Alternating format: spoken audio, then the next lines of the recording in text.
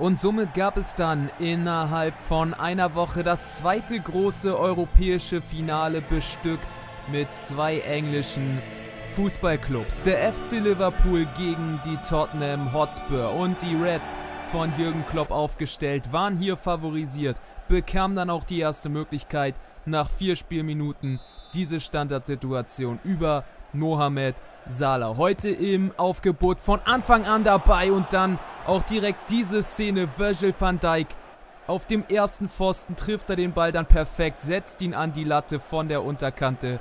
Dieser springt da dann vor die Torlinie. Aber die Spurs erstmal nervös und nicht richtig im Spiel, auch defensiv nicht so kompakt, wie man das gewohnt ist. Mo Salah legt nochmal raus zu Weinaldum. Zurück zu Mo Salah. Und was für ein Tor. 17. Spielminute, der rechte Fuß von Mo Salah. Nicht der allerbeste, möchte man meinen, aber dann schaut man sich dieses Tor an. Und sieht sich vollkommen eines Besseren belehrt. Was für ein Treffer.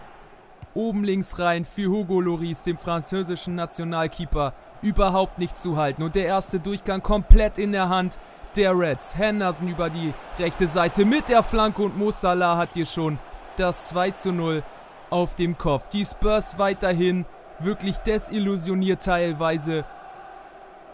Konnten mit dem Druck bis dato überhaupt nicht umgehen. Und so ging es dann auch vollkommen verdient mit diesem 0 zu 1 aus Spurs in die Halbzeit.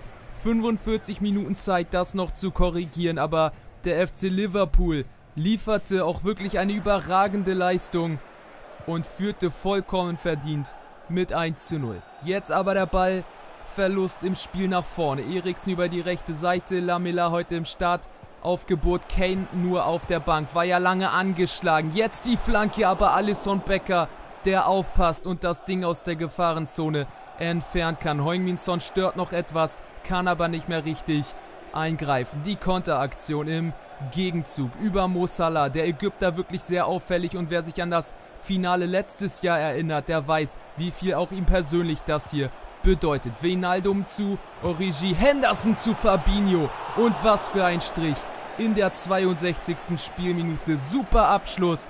Und der küsst dann den Außenpfosten. Der fliegt und fliegt, wird länger und länger für Hugo Loris unerreichbar.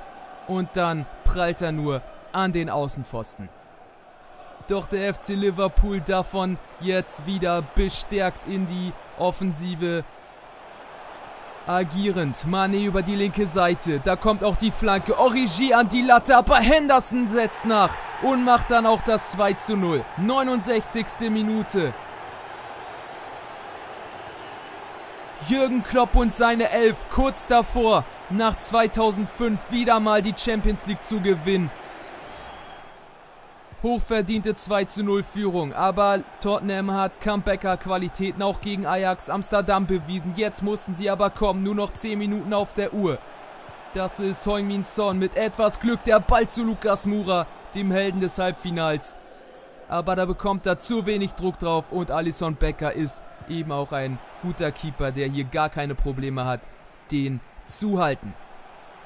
Keine fünf Minuten mehr zu spielen. Genialer Ball von Lukas Mura. Heung-Min Son, aber wieder die Parade des Brasilianers. Und das wäre es natürlich gewesen. Jetzt nochmal der Anschlusstreffer für eine starke Schlussphase. Aber er sollte einfach nicht reingehen. Und in der Schlussminute dann nochmal Tottenham in der Defensive gefordert, aber auch überfordert. Und das 0 zu 3. Mo Salah setzt dem Spiel den Deckel auf. Nochmal ein sensationeller Treffer und der Ägypter mit dem Doppelpack im Finale. Was das bedeutete, war dann auch Jürgen Klopp klar. Nach zwei Pleiten im Champions League Finale gewinnt er endlich die größte europäische Trophäe. Tottenham muss sich absolut verdient geschlagen geben. Der Titel geht nach Liverpool und das absolut verdient.